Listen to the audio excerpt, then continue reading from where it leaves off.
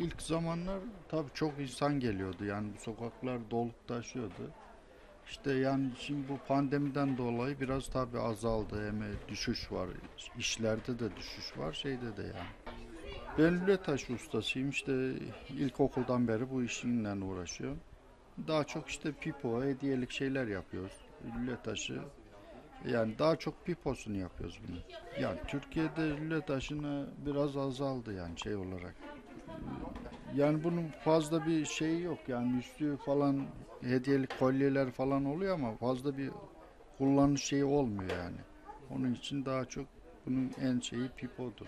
Yani bu lüle taşı dünyada tek bir Eskişehir'de çıkıyor. Yer altından 50-100 metre yer altından.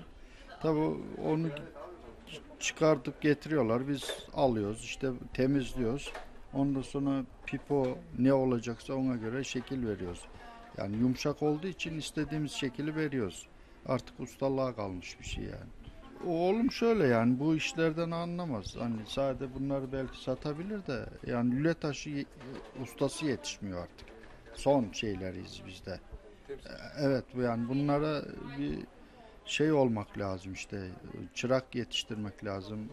Gelecek nesile aktarmak lazım ama o da yok. Şimdiki nesilde öyle bir şey heves de yok. Bir ilgi de yok. Nasıl yapıyoruz, nasıl ediyoruz soran bile yok yani.